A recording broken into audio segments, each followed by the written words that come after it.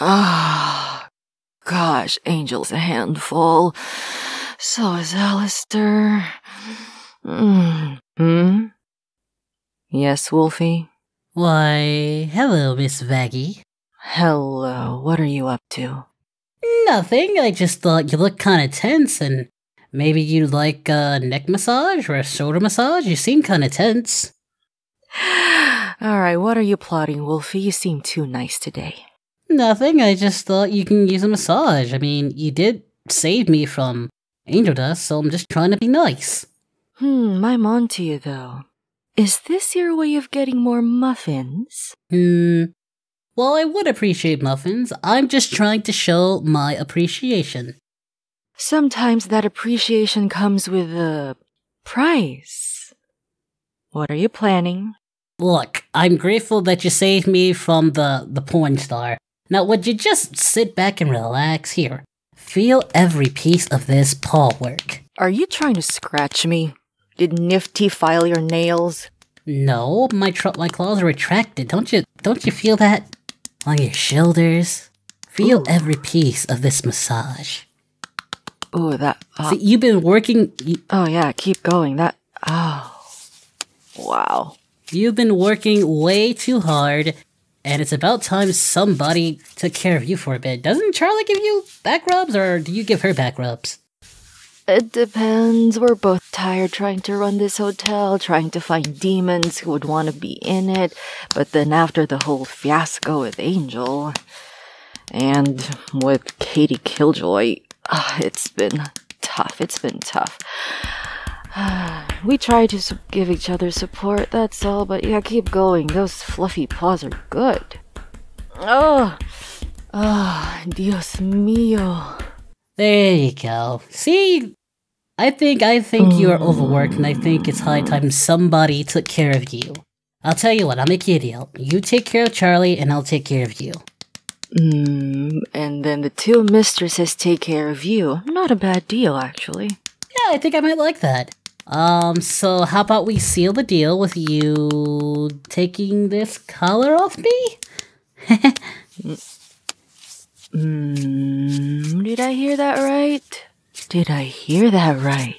I I just think that you know, since we're making a deal and all, um, as a show of good faith, you could maybe take the collar off, possibly.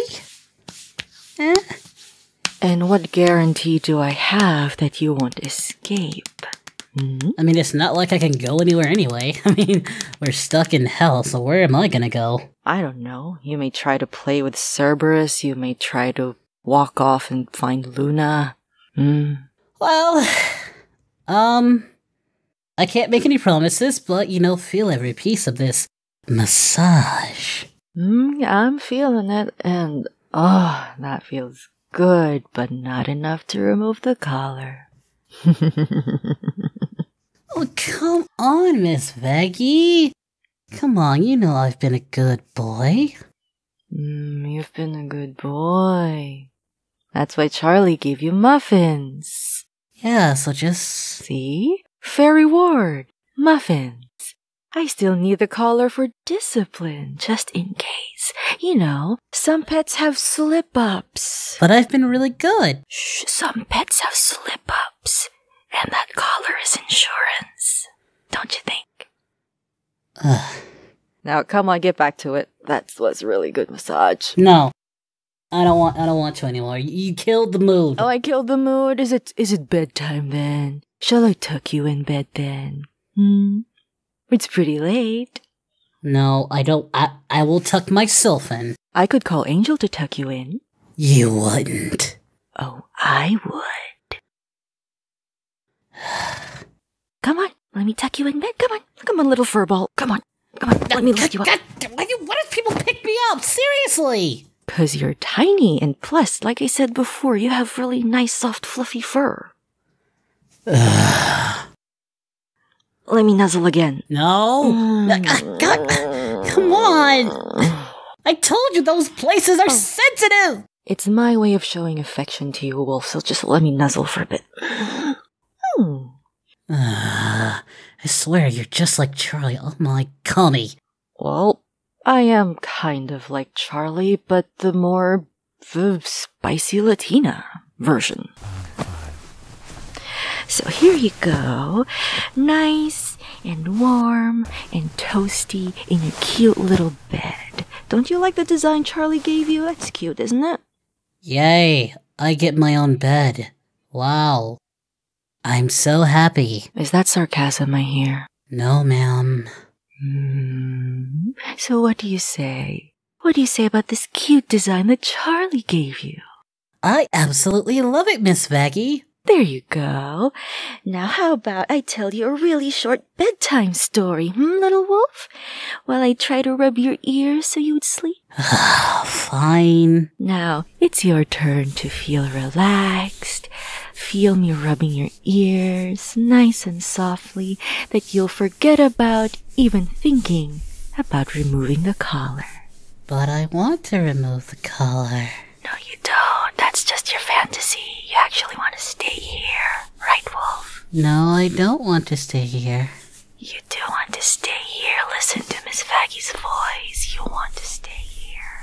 Because it's fun here. I, I really, really don't. Yes, you do. No, You know, I the, don't. bu- the button's always in my pocket. We don't want. I don't want to fry you to sleep. You're kind of rubbing too hard. Oh, oh, oh I'm sorry. How about a little? I'll give you soft head.